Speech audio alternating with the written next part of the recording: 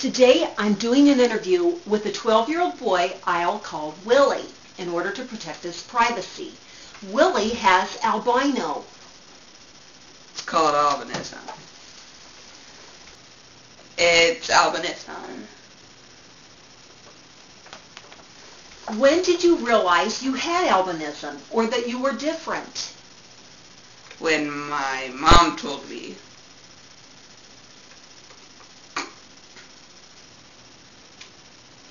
When my parents told me, that was when I learned. Why do your eyes move back and forth? Because I have albinism. they do that, I don't really know why. Because I have albinism. I thought people with albinism had pink eyes. Some of them do, but they can have any colored eyes. They can have any colored they can have any colored eyes.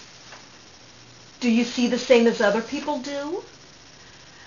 Sadly, no. I see worse than other people do. Yep. I wish. I don't see as well. Why don't you just wear glasses?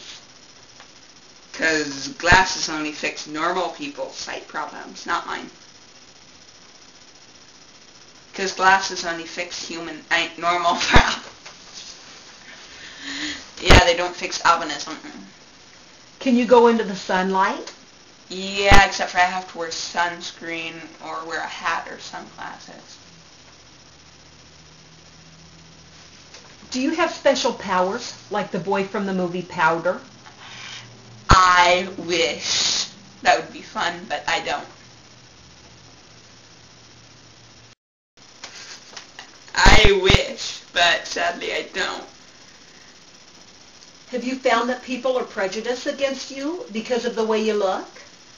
No. Yeah, but the people who do that are just jealous and, or, or stupid. One or the other.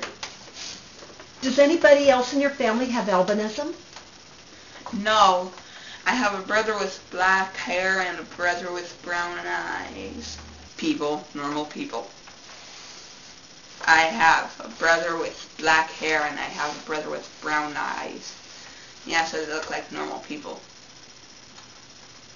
What things are most difficult for you?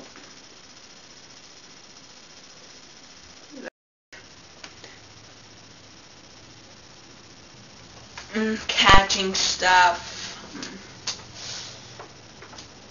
Seeing. Well, seeing would have to be somewhere on that list. Um, catching a ball, that usually nails me right in the face. Um, yeah, quite a few things. Do you play sports? No. Like I said before, the ball always ends up nailing me in the face. Or somewhere.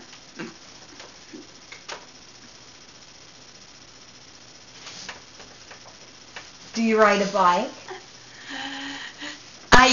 To until I ran into stuff. Now I don't anymore and I forgot how. What sort of things do you enjoy doing?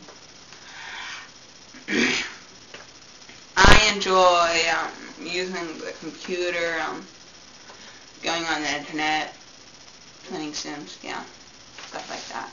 Have you ever had the chance to meet other people with albinism? Yeah, one time I went to the Braille school and then I met some people there. What did you have in common with them? Albinism.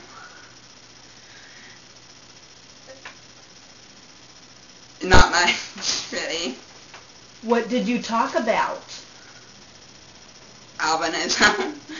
we talked about albinism. Oh yeah, we talked about our favorite food. We didn't talk about our favorite color, I know that. and yeah. What sort of things do you do at the Iowa Braille and Sight Saving School?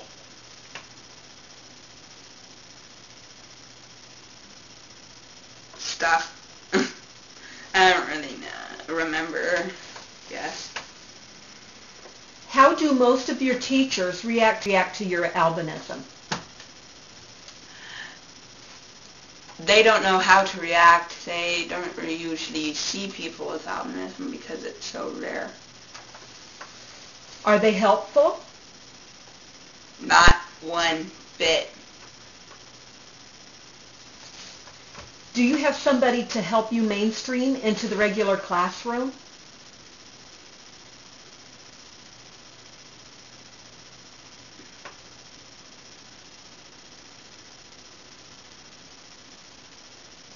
Like Kim? you think you should stop now? okay. Stop the video. Yes, I do. I, it's around once a month that they come over to my school. What is the most difficult thing for you to do in school?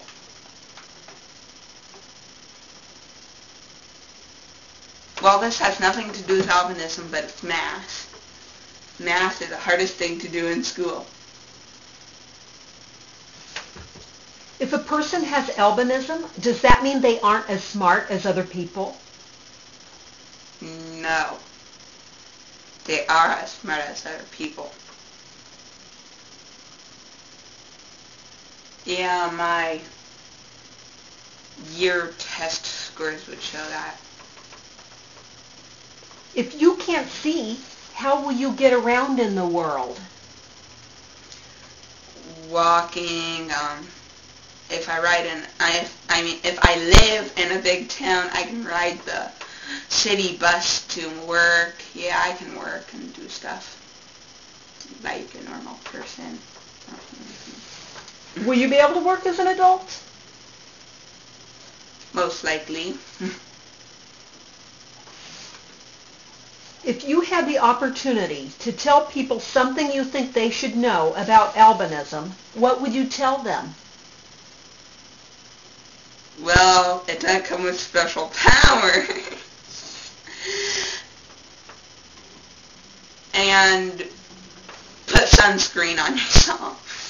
Because if you don't wear sunscreen with albinism, you're dead, basically. You're going to burn. If somebody you knew had just had a baby with albinism and knew nothing about albinism, what advice would you give them? Don't let your baby burn. When I was baby, my parents didn't know anything about albinism, and then they let me burn. And then, to make matters worse, they watched Powder. so, yeah. Yeah, that's all I can give you. Is there anything else I should have asked that I didn't? No, you asked everything, I'm pretty sure. Okay, well thank you, Willie, for this interview. But I, Willie, is going to crush Lee Khan.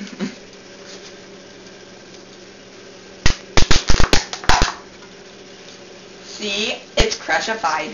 Okay, with your hands? Oh, I can put my leg behind my head. Let's see that.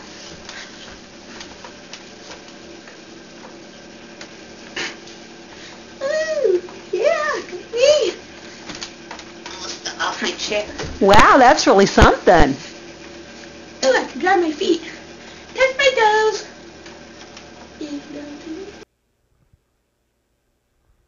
Represents a person with albinism. He has two recessive genes. If two people with albinism meet, you might have this. This represents a person without albinism who is not a carrier, meaning he has no gene for albinism.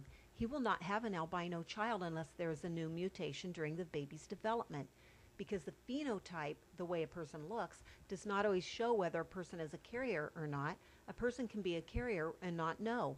This is how it happens. Here are the possibilities.